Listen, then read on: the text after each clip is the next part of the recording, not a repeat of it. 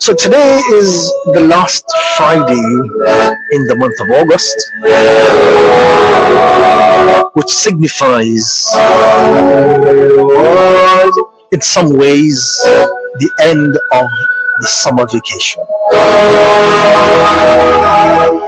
Next week, Monday, the kids will be back out to school. Many kids will be returning students. Some kids will be starting afresh.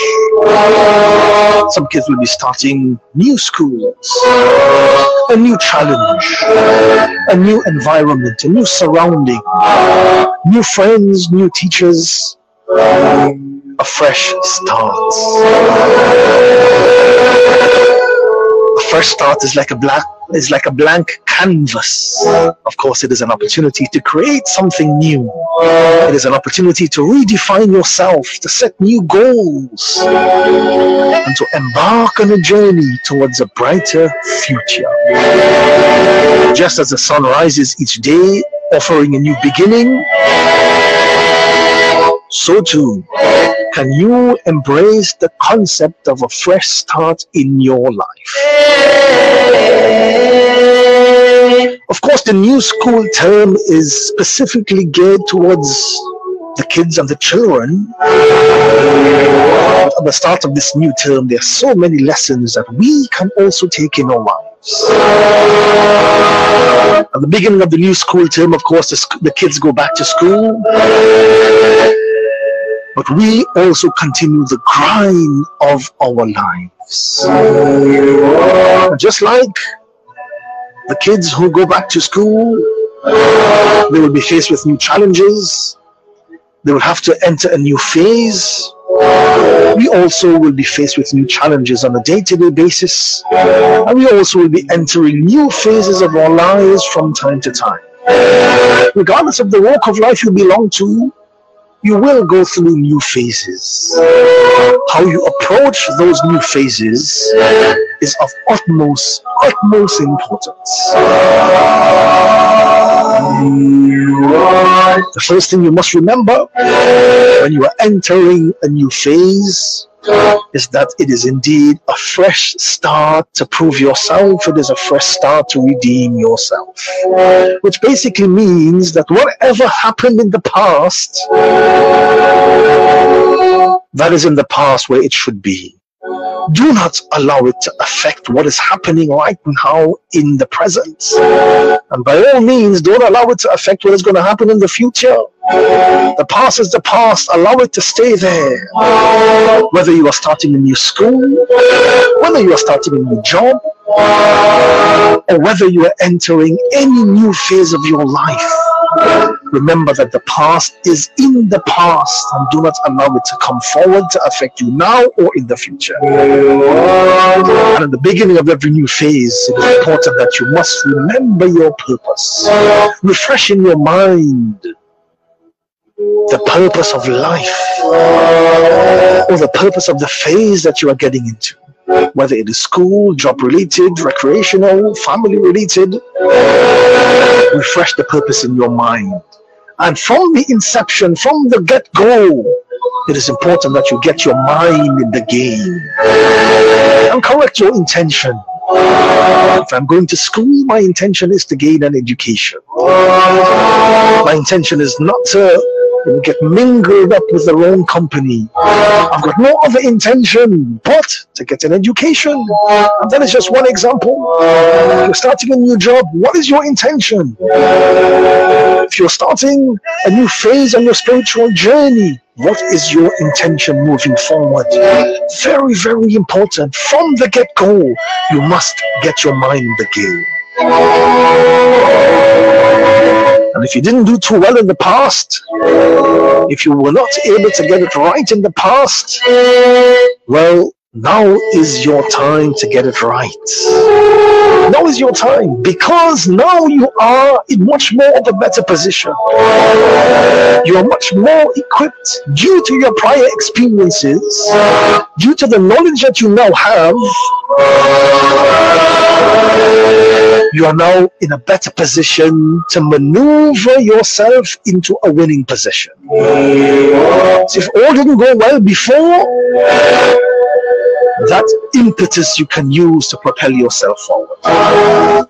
In the past, if you did well, if you're a student and you did well in the previous term, or as an individual, if you did well in the previous phase of your life, my message to you is never ever become too overconfident in your abilities to the point that you become complacent. And we see many students fall into this particular category. Many individuals, as a matter of fact, they did well in the previous phase or the previous couple of phases, and now moving forward, they become complacent because they think that I've got the intelligence, I've got the ability, those things will take me through. And that then leads to complacency, which then leads to the downfall of the individual. I'm pretty sure that you are well aware of the story of the tortoise and the hare. The hare became overconfident, even though he was faster, even though he had stronger legs, even though he had the ability to cross the finish line first. He became overconfident, which then led to complacency, which then led to his downfall. So any aspect of your life, once you are starting a new phase, if you did if you didn't do too well before in the previous phases, tell yourself that now is my chance to shine because I'm in a better position due to my experience. If you did well in the previous phases, do not become complacent. Protect yourself from becoming overconfident. Also, very importantly, once you are now entering a new phase, stay clear. Stay clear of negative people. Stay away from bad company. I always remember a saying of, you know, the adults, a saying of the elders of our communities. They say that friends will take you, but they will never bring you back. And I want you to reflect on that whatever walk of life you belong to. Friends will take you, but they will never bring you back.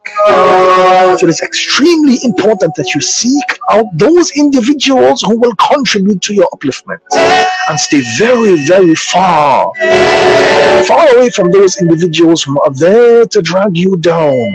And sometimes they drag you down without you even knowing it. If you are not aware and if you are not careful. Extremely important as well is discipline. In every phase of your life, you have to be disciplined. Discipline is the key. You have to be able to conform to a schedule. You have to have a plan in front of you. And you have to be able to execute that plan to the T, like they say. And in order to execute that plan, you must have dedication. The price of success is hard work, hard work, and dedication to the job at hand, whatever, whatever walk of life you belong to. The, the, the determination to get it done, whatever comes your way, that is the impetus that will push you forward. Once you have applied the best of yourself, the task at hand will become easy. You will fail at some point in your life, that is accepted. So you have to accept that. Sometimes you win, sometimes you lose.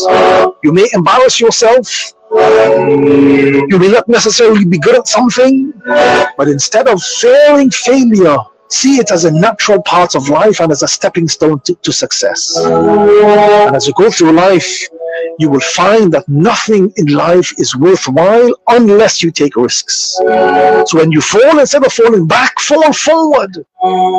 Every failed experiment is one step closer to success.